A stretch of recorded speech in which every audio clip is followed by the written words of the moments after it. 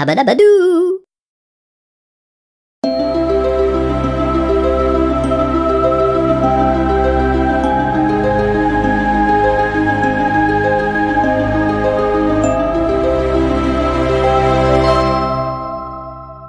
Today's story is The Astronaut Naughty Baddies.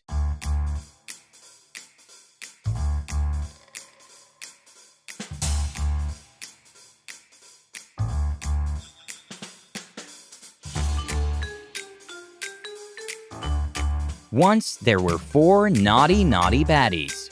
One, two, three, four, and each one was as naughty as the next. One mischief making morning, the naughty, naughty baddies were creeping about. Creep, creep, creep, when they spotted something that made them come to a sudden, excited stop. Can you prove that alien life actually exists? You can? Then come to the President's Palace to claim your toy-tastic reward. The naughty naughty baddies gave wicked grins, and quick as a flash, a madcap plan formed in their villainous heads.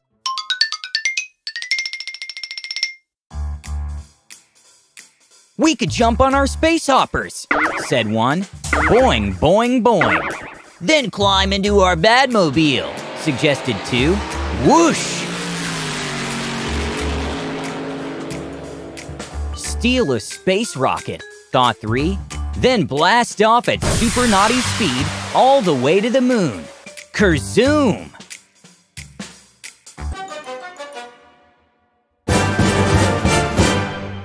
The last and final part of their diabolical plan involved capturing some aliens and claiming the fantabulous prize.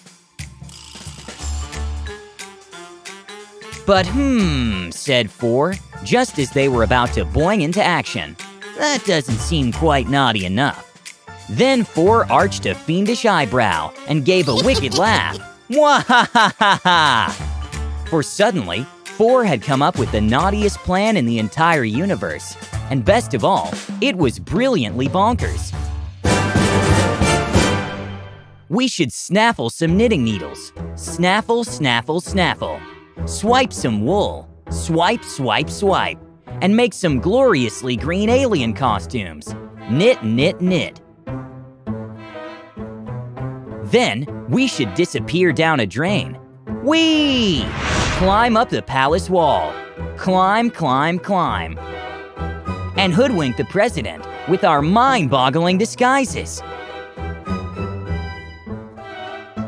In three clicks of a knitting needle, the dastardly plan was underway. And at exactly four minutes past snack time, the naughty, naughty baddies landed in the president's bedroom.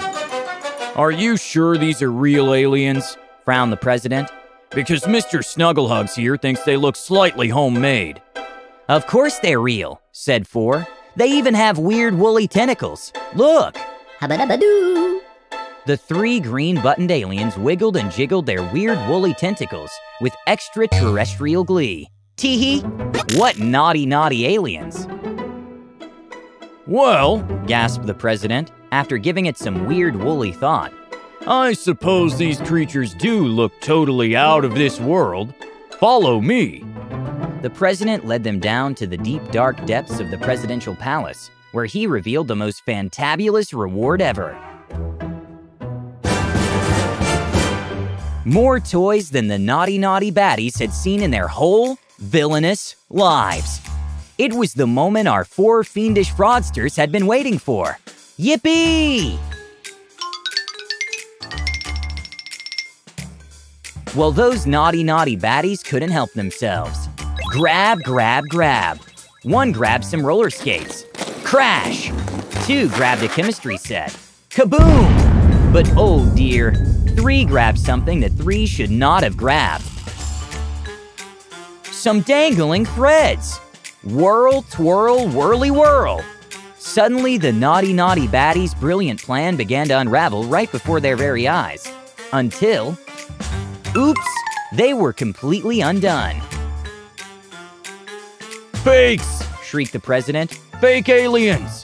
Mr. Snugglehugs was right all along. Then, without further ado, the president announced a truly terrible punishment for those naughty, naughty baddies. You shall put back all the toys exactly as you found them, he scowled, and go home totally rewardless. Drat and double drat. The naughty, naughty baddies hated tidying up and losing out. But to everyone's shock and surprise, the naughty, naughty baddies did put away the president's toys, though it took them a long, grumbly time. Moan, groan, moany groan. But they didn't go home completely empty handed, for just as the president was getting ready for bed, a loud weeping wail rang through the night. Boo! Where's my sweet, sweet Mr. Snugglehugs? Came the panicked cry. I just can't sleep without him!